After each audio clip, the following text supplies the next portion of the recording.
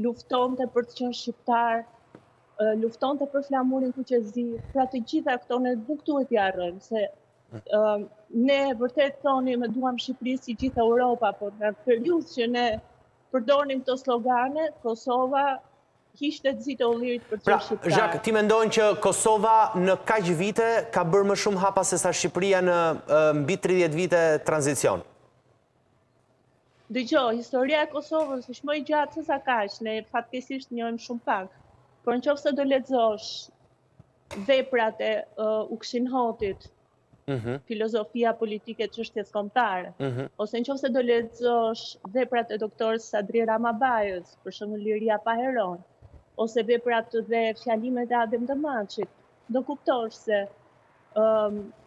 ka shumë më shumë që ne nuk dimë, dhe fatkeqësisht ne nuk e dimë, jo sepse nuk kemi dashur, po sepse udhëheqësit tanë na kanë mbajtur gjithmonë larg.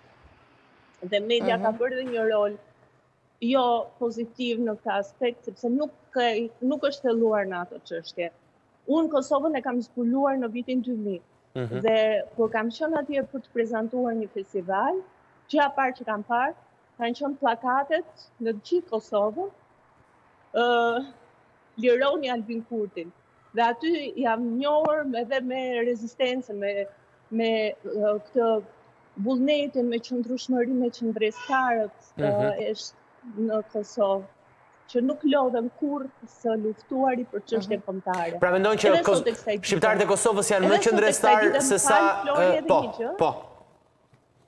Jo, doja të thosha që po. edhe sot nuk duhet të harrojmë, kur luftohet për Mitrovicën, kur luftohet për veriun e Kosovës, mhm. luftohet për tokë shqiptare, nuk duhet ta harrojmë këtë. E kuptoj. Mhm. E duan më shumë atdheun? A i shikon pra më atdhetarë po, se sa shqiptarët e Shqipërisë? Patjetër. Shqipërinë e duan ata në Kosovë.